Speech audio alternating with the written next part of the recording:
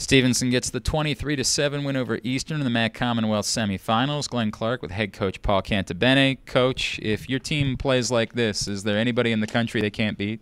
Well, you know, I mean, that's what we're about. You know, we got to play, especially in offense. If we play as a unit, uh, we're trying to tell them. I think we're pretty good. We share the ball, we move off the ball really well, and we can. And we're pretty tough to do that. When we start to play as individuals and force things that we did a few times today, uh, we're not so good.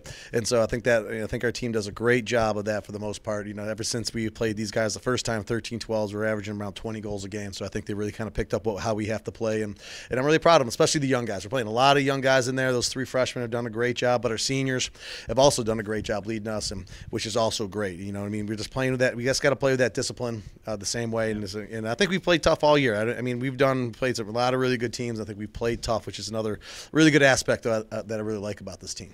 Does it mean something more to you that they came out and played like this in a playoff game with the season at stake? That, that they showed that they were ready for this moment? Well, I didn't. I didn't think we are going to win twenty three to right. seven, but you know, because we, neither did we. We talked about that a couple of times. Well, we, I mean, I didn't think we had two great practices, but I think that when you're in this situation enough, you know, we've been in this game for uh, this, um, 15 out of my 17 years, yeah. basically, it's 18 without the COVID year, and we've been in this game and we won it a lot and, and get to the championship game, so we kind of know how to handle it. I think our guys do a great job of that. We don't put a ton of pressure on them, but we also want to make sure they play with the urgency you need to get to the next level. You know, you got to play this game before you get to the next one. So, you know, now that this is done, we'll get ready for York, who's a very good team again, and uh, we'll be ready in the in the rain, I guess. But I think that our guys have the right mentality, and I think that that's what I really like about them. And, and uh, we got great people. So we, we, talked about some of the changes that you made from the first game against Eastern to this. Some of the defensive switches. Are there other things that you saw about the York game?